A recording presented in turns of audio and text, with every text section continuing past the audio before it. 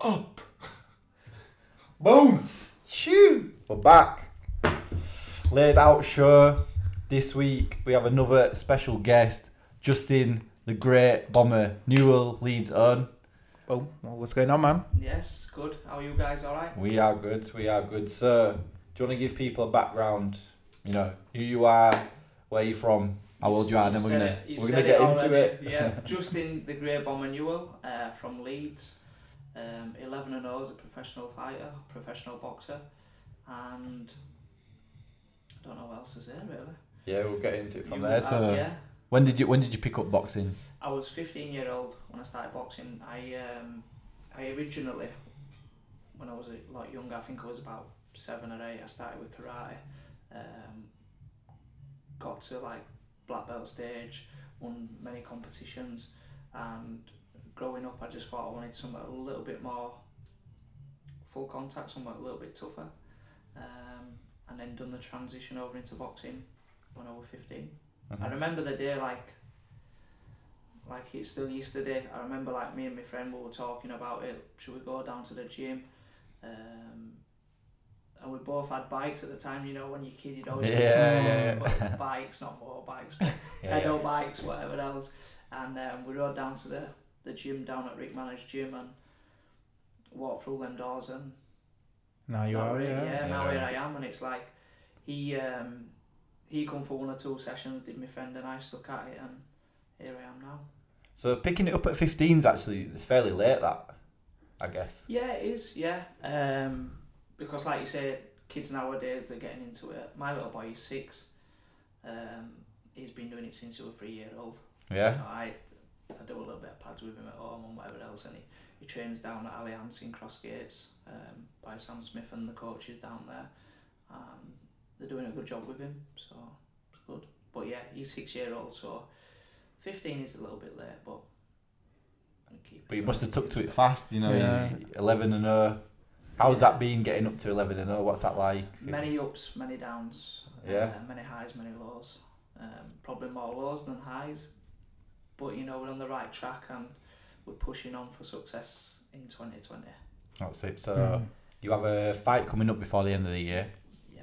Oh, How many- Last fight of the year. Last fight of the say, year. Unless there's a phone call and you know someone drops out and we take the fight, we're here. That's it. So how many rounds is that? And then can you you know give us a, an insight into what 2020 is? What Mark's maybe planning for you for, yeah. for 2020? So next fight is on Sunday the 15th of December, Elland Road, the Pavilion Suites. Tickets available. Get in touch. Um, just dropping that in there. yeah, That's that's right. right. Crack yeah, on. that's saying it. You see a lot of people dropping the plugs and this and that. So. But yeah, so Sunday the 15th of December, next fight, it'll be a six rounder. Um, not sure of the opponent yet. I'll leave that up to my team, obviously. Mark, my manager, and Keith, my trainer. I'm sure there'll be in discussions about who. Um, and then in my own mind, in 2020, I want to start pushing on now for titles. Hmm. You know, I'm 30 years old. I dedicate myself to the sport. I'm training all the time. I'm training twice a day, and I'd like to go for a central area, push on for an English, um, and just see what happens. You know, this boxing game you can never predict the future. Hmm. You never know what's going to happen to you. Mm. So No. saying that in life in general, you know, you could go out of here now and get hit by a bus. Who knows? I know. Especially not. there's a lot of tragic thing happening um, in the world lately. So you just got to take one day at a time, but Yeah. always push on for success. So, all right, this is a question I didn't, I didn't really mention, but uh, because of your age, do you feel like will you just take if someone picks up the phone now, short notice fights, titles, big fights? Yes, that- that's the- hundred percent. that's the- Don't care who As it is. long no, Hmm. as long as it makes business sense as well, um, then yeah. Me as a fighter personally, a lot of fighters will just they'll fight anyone because that's this is the sport what we're in and, and that's how we are in his mind. You know what I mean? With fighters and everybody will say yeah I'll fight him I'll fight him, but logically you have to have a good team behind you to to guide you and say it may be the right fight, it may not be, or we'd advise you to do this or we'd advise you to do that and in Matt Bates, my manager, I believe I've got a, a good guy there who's going to do that as well. But from my point, then then yeah, time's not on my side, and I'm always training. I'm always in shape. and I'm ready to go. So if the phone does ring, we're ready. Mm. So Yeah, exciting man. So off the mic, you were giving a bit of an update that kind of your career had like a, a gap. Can you actually give us a tiny bit of detail on that? Just to, just for people's uh, mind that is listening that maybe don't know too much about you. Like Yeah, you've got well- a strong record, but you're 30 years old. Like yeah. started at 15. How did that even? How did it happen? Do you want to paint that the picture? big breaks in between was when I first started out. Obviously, used to win fights, go on holidays with the lads, enjoy myself, just young, Mm. Mhm. young and dumb, and whatever else, stupid, you know, just living life and growing up. And I remember I, I used to like, like I say, I box, and then I would take a month, a month and a half out of the gym. Yeah. Yeah, go out on the booze with the lads and enjoy life and live it up a little bit. And then I get back into training. It'd take me two and a half, three months to get fit, and then maybe box again. And then obviously I've, for some of you listening, I uh, obviously I went to jail. Mm. You know what I mean? I spent um, quite some time out of obviously the sport with that um, for a drug related offence. And to be honest, and I've said it before, it was the best thing that ever happened to me. Now people like to go, what?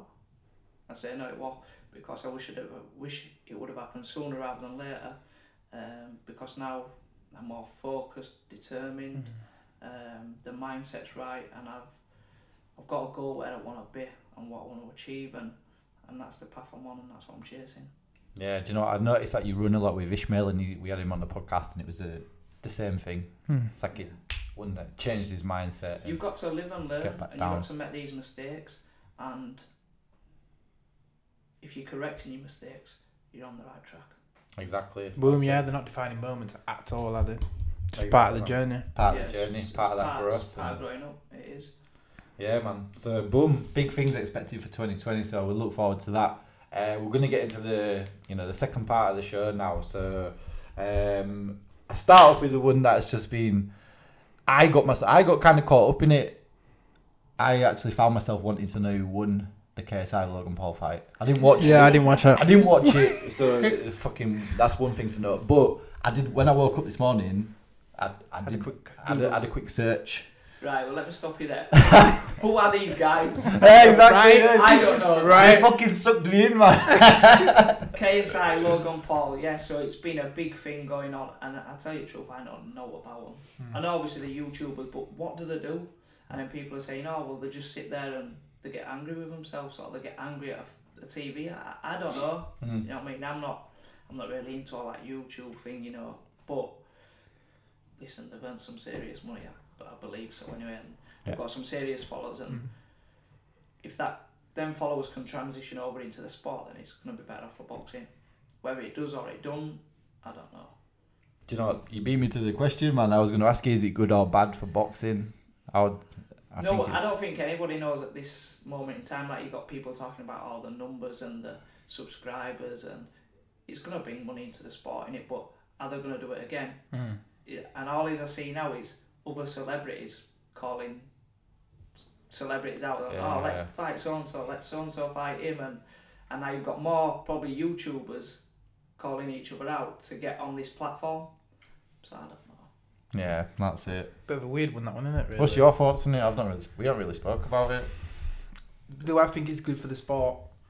I think yeah and no. I don't know. I think it's the side that I find unfair to it is you know there's people fucking real boxers out there putting in work Yeah. because we've kind of seen the the politics behind it, behind how hard it is to get fights and all of that, and then these people coming on the on the ring and making shitloads of money and bringing limelight to the sport, which is fair enough, fine. But I'm here and here about it 50-50. Mixed emotions. Yeah, mixed emotions It about is it. hard because, like you say, th- th- there's fighters out there like like myself. Like we're always on the struggle, on trying to get to the top, Mm. And then these guys just walk in and they've got mega. Do you know no boxing background really, right? It's they've been training a few years. That was the you thing know, as well. They they're not were- dedicated their life to that shit. Really, you know. It's They've dedicated months, really, like Mm. you know, six months or whatever. But the problem is, they were doing interviews. KSI did an interview, and he's like, "Oh yeah, I, I think I can beat pros now." And everyone, even Eddie Hearn was like, Yeah. "God, shut." the see. I fuck think that would probably be more worth watching one of those motherfuckers in the ring with an actual pro. Yeah, you yeah you've said it now. So let let's see. Yeah. But then on the other hand, you have to respect them because anybody who gets through them ropes, it takes a lot of bottle. People don't Very see it true. like if if you're not a fighter or you've never been in that situation, you'll never know what it feels like. You know the build up to the fight, the nerves, the ring walk. You know it's um, mentally you have to be mentally tough as well. But for the, these guys, I don't know what their motive is. Obviously they're just getting in there to I don't know prove a point to each other and whoever's following them on YouTube, I suppose. Yeah, do you know? Because it can't be money. I don't think because they they made enough money. Mm. So maybe they're doing it, you know, for something extra to see if they can do it or. But yeah, get him. Let's yeah, let's that's another thing. bang him in there with a pro man. Imagine how much money they, they earned off that fight last night. I, I don't know. I don't know if the purses will come out or. But then you've got fighters like, like myself or other up and coming prospects, and they're on peanuts. mm. You know, and it's like these guys walk into the sport. They've got all the hype behind them, and they get paid. It'll have been a lot of money. Yeah, that's what I kind of feel sad about. An example is Darren Tetley. We had him on the on the on the podcast, Yeah. and he was saying that he couldn't find a fight. He had the belt, um, WBA welterweight European Championship, and couldn't find a fight for it because of I remember watching that. Fight. Trying to make a match. Was it um, Mason Cartwright? Did he Yeah, box? yeah, Yeah, that yeah. horrible Josh Warrington, big yeah, ass he- cut on got his cut lip. lip. Yeah, what a fight that one. Mm. Um, we were there ringside, um, and it was a great fight as well. Yeah, but it's it's one of the, like the more we sit and talk to like guys like yourself, all the you know all the a lot of the Leeds lads. To be fair, Darren, you've got two full time jobs, you lad. Mm. You're selling tickets full time, and then you're training as well, and you got you you know you have to sponsorship and And most boxers are actually big- working as well on the side. You know, like yeah, some Darren people is. are, and, and Josh Josh Sandlin he was saying he's he was working he's working full time just about to go into Ultimate Boxer, so people don't really see that. They don't they definitely don't appreciate it. It's hard, and, and some people say like, "Oh, how many days a week do you train?" or "How many times do you train in a day?" And I just feel like saying twenty four seven, but they won't understand because if you're not if you're not training, you're thinking about food. Hmm. But you got to eat clean, you've got to eat healthy, you know, put the right fuel in. And if you're not thinking about that, you might be thinking about opponents. If you're not thinking about opponents, you're thinking about your next training session. Mm. If you're not thinking about that, you're thinking about it's got it, it will involve boxing or around boxing. You know, it is it is full time. Yeah, absolutely. So let's talk about some proper boxers now. So Billy Joe Saunders, he was on the undercard, won by knockout. So now they're, they're saying, all right, Saunders either fight Callum Smith, big fight, Yeah. Anfield. That'd be. Pre- I'd probably want to go to that. To be fair, I think it'd be sick. Um, or Triple G. I'm not too bothered. I think Triple No. G's a bit. If I'm honest, I think Getting it that beats way. Triple G easy. I I agree. And Triple G, like I like him, he's a great fighter. He's um, been dominant for many years, but lately has he been on the slip or on the slide? Um, is it an age thing? Like no one knows. But his last couple of performances haven't been what he was when he was first on the rise. Mm. Um, and I think with Billy Joe, his slickness and his movement and his footwork, I think, I think it'd probably end bad for Golovkin. Yeah, If I'm honest. I and agree. people might might look into this and say, nah, Golovkin he can punch and this, but styles make fights. Yeah. And stylist, stylistically, I think Billy's wrong for Golovkin. Big time. So, on from that Triple G, Canelo won the week gone gone by, stopped Kovalev. Pretty. A lot have been said about it, but take it for what it is. It is a pretty big win. Four weight world champion. Uh, what do you want to see from Canelo next? Do you want to see him fight someone like a Saunders at his natural weight, or that this got thrown around the line? And I was, I was, I mentioned it to Jermaine at boxing yesterday. Andre Ward comes out of retirement He said and takes he on said, though, takes on Canelo. it, It's so much money. that He's never had a big payday. I think he'd be well. I think he'd be tempted. I don't know that. I think he's a clever person. He's a clever man, and I don't think he'll just come out of retirement for it. He's got nothing to prove. I think when he was in the sport, he proved everything that that he had to prove, and he Yeah. done everything, and he fought everyone that he had to fight. And I don't see it making sense for it. Obviously, money wise, then yeah, it probably will, because there'll be a lot, a lot of money involved. But I don't know. Timing, you know, how old is he? You know, he's Ward must be nearly forty. Yeah, obviously I don't know how Canelo's a lot younger, Mm. um, but you don't need that, you know. Unless he needed the money and he needed a big payday, then yeah. If they did, don't think you don't. if they did, who wins? Very interesting. Satellite heavy. Yeah, I don't Mm. know. You know what? I'm gonna go with Ward. Yeah. Ward. Hart once. I want. I would not. I would hate for him to come out of retirement and lose. That would be fucking Question terrible. for you guys: What do you think to Canelo and the drug cheat thing? It's a very good point. You know, people have forgot about that, really, haven't they? But yeah, people. Do you it's know like what? it just gets brun- brushed People- under the carpet. People skip over it a lot. And you the Uh, thing with like Dillian Whyte and like they, they haven't forgot about it Mm. and they don't know what's going on yet. No one knows what's going on yet, but he has actually been classed as a drug cheat. Yeah, and he got fuck all for it. He got literally Yeah, a nothing for little it. slap on the wrist. That's it. Do you know that's that's boxing's biggest problem. If you if you are a cash cow, people don't give a fuck. Yeah, that's what it is. I think People don't the care. Pacquiao went. but up you know what? a million UFC is kind of similar as well, isn't it? It's- But they they cut your ass out if you get caught. If So you're B? Jon Jones, he was. Well, yeah, Jon Jones. Uh, actually, it's just it's just a little. It's a gram. It's a little gram. It's, it's not going to do anything. All right. Okay. Okay. But yeah, Canelo. But then he blamed it on like some fucking Mexican Some meat, do- dodgy meat. some dodgy Mexican steak. Yeah. But now everyone's just like, oh, Canelo's up at light heavyweight. It must have been on the uh, Mexican steaks for the, for the last month. They must have been eating a lot of them Mexican steaks. Right. To be, uh, Yeah, it's. Do you know what? It's it's kind of it's awful that it's just gone and But in Being any other forgotten. every other sport, it's a ban, right? You're, Big you're ban. tainted, your name is gone. mm, You're a drug drug abuser in the in the sport. You're done. That's it. But in boxing, Yeah, like you say, if you're a cash cow, It's the peds in it, you know what I mean? It's performance enhancing drugs that mm. obviously.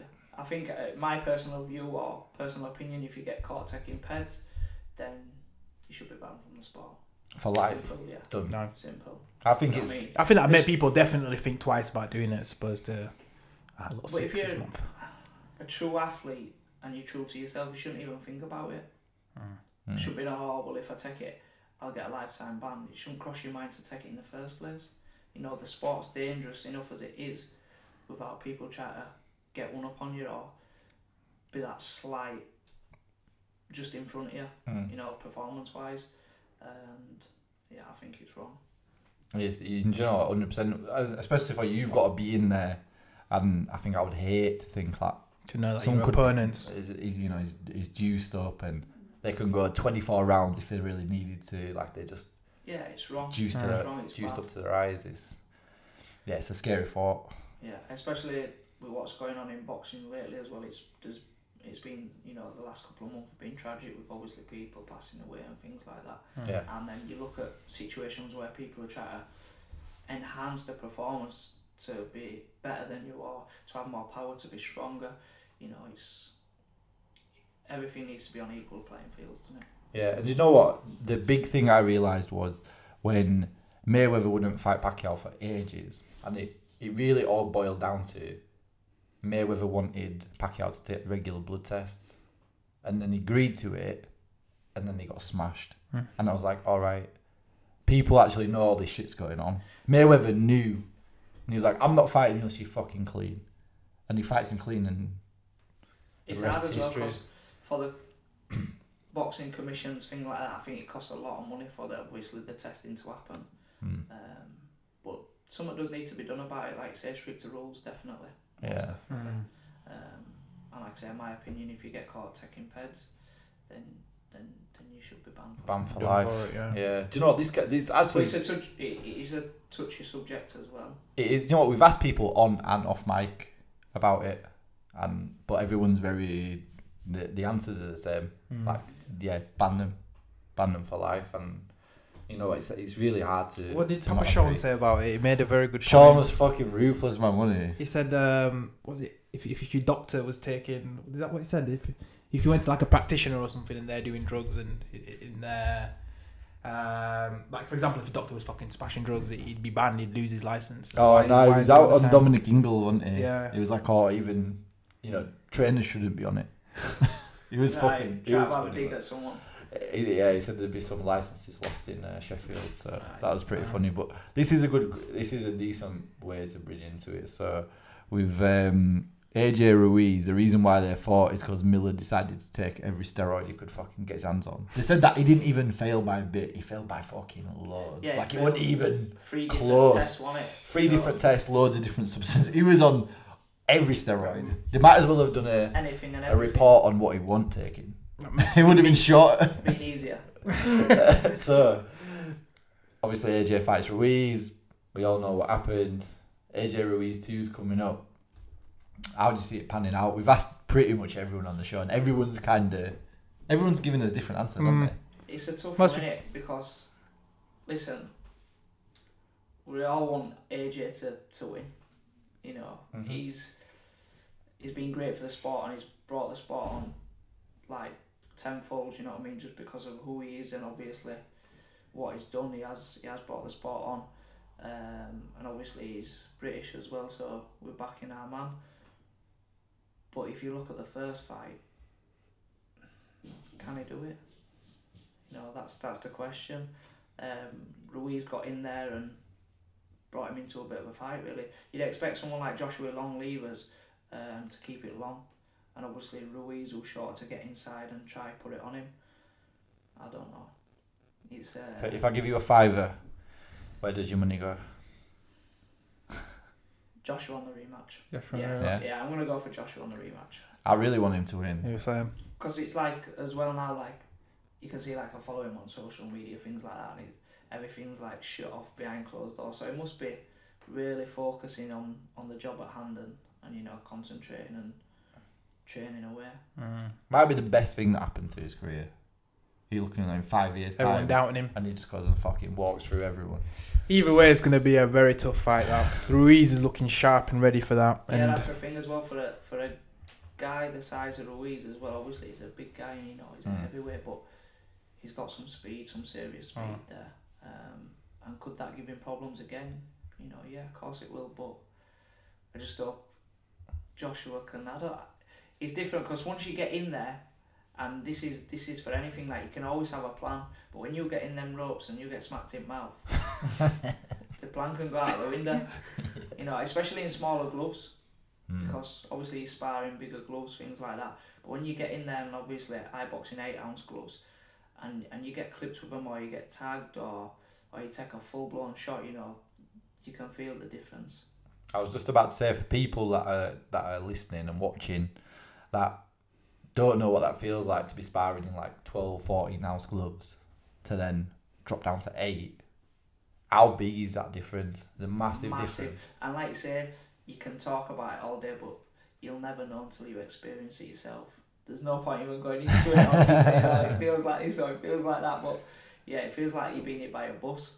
Yeah. Um, it depends as well, obviously, if whoever you're fighting, if they're a power puncher or not. But yeah, no, you can definitely tell the difference. Yeah. A big difference. Yeah. Second question off the back of this. So for your weight, are you you quite a long fighter? You like tall, you like long, long got- arms. Yeah, well, Depends I've got on- long arms. I'm quite tall as well. Um, I've got long levers, but I can mix it up. I can box. I can punch. Can get in close. You know, in my mind, or I do like to have a little bit of a fight and get in there and have a war. But I can box. I can punch. Stylistically, anything. You know, you just got to like say when you're in there, it's about adapting. Yeah. Being smart, being clever. So I was gonna what I was gonna ask is how dangerous is it if a fighter like a shorter man actually can get inside you and start getting on the inside of your jab? How is that a dangerous time for for tall fighters? How do you how do you uh, mitigate that? How do you how do you address that in It's- the ring? Tie him up. Yeah, it's it's it's, What it's tough in it because every fight's different and every situation's different. And if obviously the shorter guy, he will always be wanting to get close to you and put it on you. So it depends what tactics they've worked on in, during the camp. Yeah. Um, but yeah, it's always you'd always think that the taller guy will use his his long arms and his long levers, and the shorter guy will want to get in, get on his chest, and and rough him up. Yeah. Boom. Now for the second part of the show. Who's your top three pound for pound fighter, dead or alive? It's like you put me on the spot now. There's so many what you could choose from. Um, you got your greats, Sugar Ray Leonard, Marvin Hagler. going way way back, Rocky Marciano. Um, I don't know. Pound for pound greats. No. Help me out, guys. What have you? What yous? Well, we We had, had Calzaghe, didn't we? You said Calzaghe. Did you say Calzaghe when we was off mic at the start? Mike mentioned him. Yeah, do you know what? We've not even done this question. We, no, we- might as well flip it now. Who's your top three? of all time. Yeah, My number one is Mayweather. Mayweather. I just think it's like if I was a boxer, I would I would not want to get punched. So that's how I'd want to fight. Simple as that. Hmm. Um, who else? For me, Roy Jones. Roy Jones is number one so for me. sick to watch on Yeah. YouTube highlights. He wins. It depends Yes. as well what, what you what you like because it, Yeah. if you like to see someone who's a who's a boxer very skillful, yeah, Floyd Mayweather, let's go for that. Hmm. So you'd say Floyd Mayweather is your number one because he's a very skillful fighter Mhm. um, and he beat everyone put in front of him. Um, you can't take that away from him. Um, but then if you if you like to see a fight, then you're gonna choose Mhm. someone who's a who's a fighter. You know, I remember when I was growing up, I used to watch a lot of Ricky Hatton because at the time I was growing up and getting into the sport, he was still fighting regular and you know he liked to come forward and Mm. and have a fight, a bit of a war. Hmm. What about you? Um, number one, oh yeah, I said Roy Jones. Number two, Iron Mike. Mhm. Um, number three, I'd probably say Lomachenko for me Yeah, at the sick. moment. Yeah, So out of them, yeah, yeah I'm looking. bit of mix. Bit of Floyd everything. in Mayweather, there. yeah, Mike Tyson, and then like I say, currently, obviously Loma. Yeah. Yeah. Boom. Um, if you could watch any boxer again, dead or alive, live, any one boxer, who would it be for one night? There's a few. Like so matchups in it. What you what? Do you know what they're saying? Match. You can take Yeah, a fight. yeah. If you can go see, you get a ringside front row seat. There's so many. You could Any. say, all right, then Mike Tyson versus, I don't know, Anthony Joshua. Oh, You shit. know, you could say that, like I don't know, and you're talking the heavyweights, and then let's say, all right, the super middleweights. I'd like to see Calzaghe versus Carl Froch. Eh, them two fucking hate each other as well, don't they? I don't know. I don't know if they've got any history. I Yeah, he's yeah. I think so. I think so. Froch don't really hold back, does he, when he's talking and like Calzaghe when he um, retired, like he just disappeared. I don't think he really stayed in the sport. Um, he just went off into the sunset and he's enjoying life. Um, Froch has obviously been in the limelight a few times, um, but I'd like to see that fight. I'd like to see that because you've got the the heart, the determination, and the grit of obviously Carl Froch, and you got the speed and the skills of Calzaghe. So Yeah, I'll make a good lineup. That'd be a fun Interesting. fight. in, interesting fight stylistically again. Yeah, definitely. Last question: If you could lay out any celebrity, who would it be? Thinking, thinking time, thinking time. I want to hear yours. What's yours? I might. That's a So I put you on the spot now. anyone from Love Island. I, I said. You know what? I don't mind Love Island. Yeah, It's it's no, not not not for me, man. No, No. Yeah, he shouts at the TV when it's on. You won't watch it. Well, Don't not, allowed in this house, dude. man. Fucking get out. I will go for Jeremy Kyle. We'll say Jeremy. Kyle, yeah. You know what? He, he's funny when you watch him sometimes, but he's always digging out and having a pick at them, and then. Then when you see it on the TV and the, the big bouncer comes, you know, and you look at the big bouncer and you think, mm. But Yeah. yeah, no, Jeremy Kyle. Do you know what? I like Kyle, that. but- Strong answer. I like that a lot. Jezza, yeah. Jezza. you know what? A few people obviously say, "Oh, you've got the look of Jezza because I've got the grey hairs as well." So I'm like, no, no, I'm definitely going to change Jezza. Take that. Smash Jezza. Boom. Um, if people want to get tickets for the fight, are they still available? Yeah, tickets are still available. Um, contact myself, DM me on um, Instagram, justin.newell1989, Facebook, get in contact with me. And also, I'd like to say thank you to my sponsors as well, um, which is Hessian Cafe in Oakwood, Marigold's Cleaning Company based in Edinburgh, um, Fast Phone Fix in Halton, and Alkalized Water. Boom. Boom. Justin, thanks again for coming on, man. Appreciate it. Thank you. First Yeah. time on the show, so Nah, I enjoyed it, man. Thank you. good. Boom.